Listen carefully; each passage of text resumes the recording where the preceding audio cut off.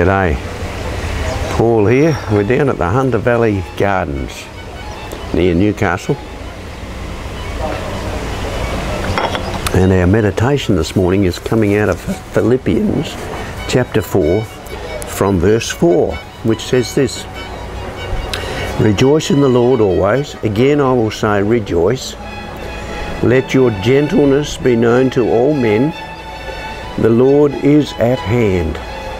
Be anxious for nothing, but in everything by prayer and supplication, with thanksgiving, let your requests be made known to God.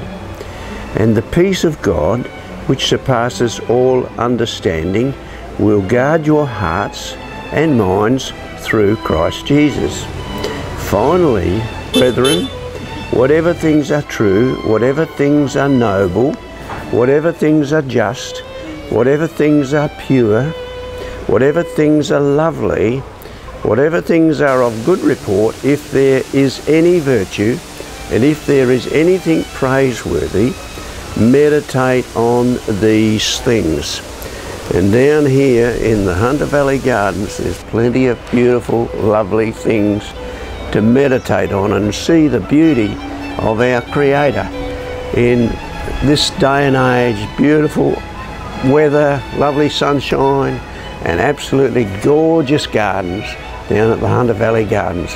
There you are, that's our word for today. Meditate on these things and see the wonders of our Creator God. You have a great day. See you later.